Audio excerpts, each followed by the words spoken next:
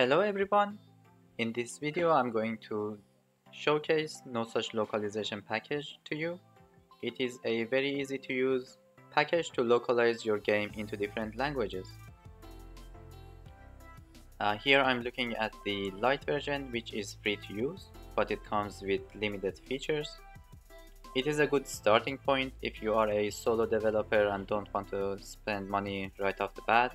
This is the option for you you can use most of the basic features and get your game translated. And then if you need more advanced features, you can switch to the Pro version, which has more features, like uh, support for right to left languages, variable substitution, JSON and CSV files, and more.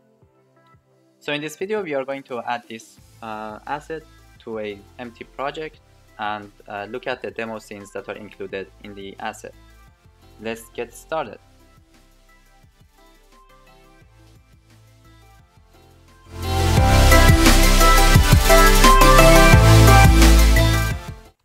So I'm going to launch Unity and create an empty project. I'm gonna press on new, leave that on 3D, name the project localization test, and press create.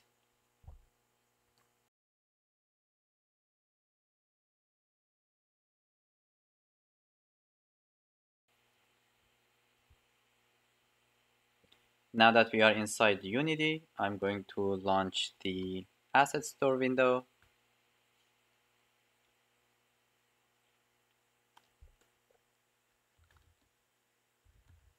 Search for no such, no such localization.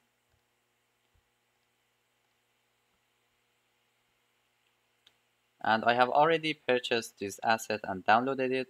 Uh, for you you might have to purchase and download first. After that you can press this import button to include that asset in our project. And because I'm going to show you all the demos that are included in the asset I'm going to import everything. Alright now that the asset is imported I'm going to close this tab and the asset is downloaded under no such localization folder.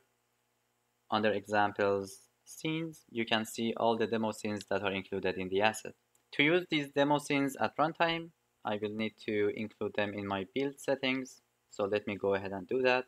I'm going to select all the scenes drag and drop them into my build settings window and that's it. So each scene has a different feature that it signifies uh, and this first scene is a scene selection uh, menu. So you can move between this and other and other scenes uh, at runtime. Before I can run my scene uh, I need to include TextMesh Pro in the project. So let's go ahead and do that.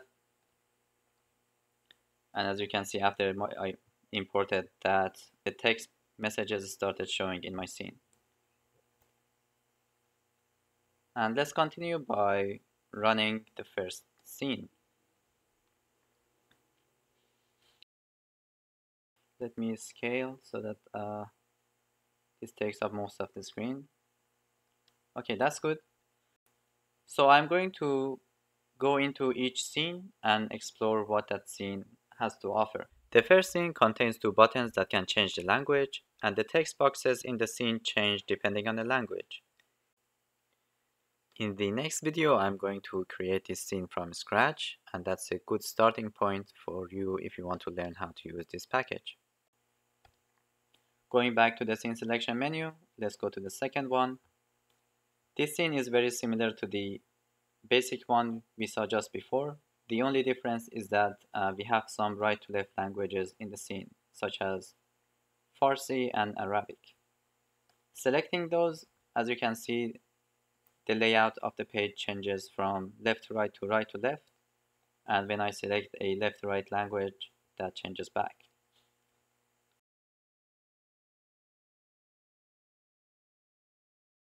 The third scene shows you how you can localize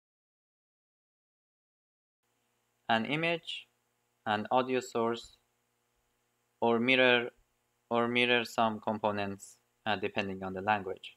So in English, Hi, I speak English. the audio source. Hi, I speak. like Hi, this. I speak English. If I change the language to Chinese, as you can see, the image changed. The back button is still pointing to left, 嗨，我说 and the 中 audio 文。 source changed. Changing to Farsi, uh, the image changes. Salam. Now Man the Farsi sprite Subat Mikaunam. of the uh, back button is mirrored. Salam. Man Farsi And so Subat forth. Mikaunam. The fourth scene shows you how no such localization can replace variables in your text for you. So this text box at the top is using two variables, the name of the player and the score they have got. And when the score changes or the name of the player changes, uh, the text box uh, reflects that immediately. And if we change the language, uh, as you can see, it works for that new language.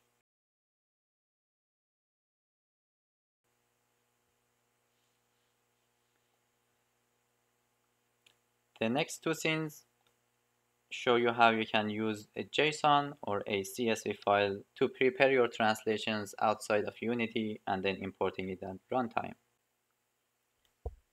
This concludes our tour of no such localization.